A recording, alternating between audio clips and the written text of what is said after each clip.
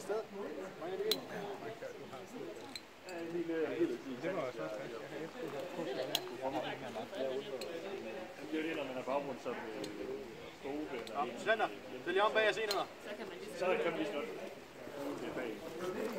Nej, folkens, nu er jeg lige efter. Så er det en træningskamp. I har I mulighed for at tage tre slag. Når jeg tager tre slag, så er I ude i kampen. Det er lige meget, hvor I bliver ramt langt væk ved jeres gruppe, så dør I. Så I ude af kampen. Forstået. Så hold linjen. Kammerater, I sørger for, at jeres linje holdt.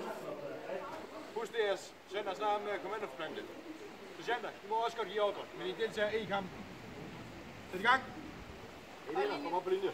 Linje.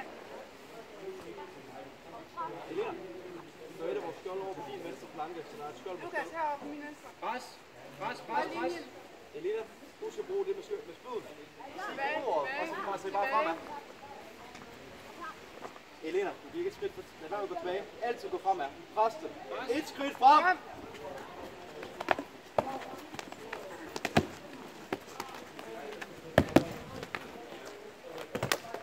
Jakob, du kan godt klare det. Bare pres ind i ham. Brug dit skjold. Hold linjen! Du har ham næsten. Et hit mere. Kom så. Sådan der. Fortsæt. Fortsæt, Jakob. Du kan godt. Hold din linje. Elena, hold linje. Hold linjen! Er der altså en af ud. Pres, pres, pres, pres. Linje. Op linjen. Helt op til hovedet. Nå, du trække ham. Ind på Elena, du linje. mister en. Hold linjen! Jakob, tilbage på linjen, ellers slår du. Jeg kom berømt tre gange. Sådan. Pres der. Form en linje. Pres!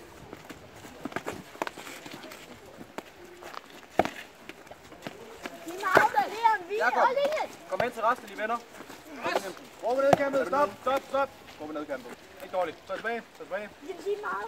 Det er korrekt. Det er korrekt.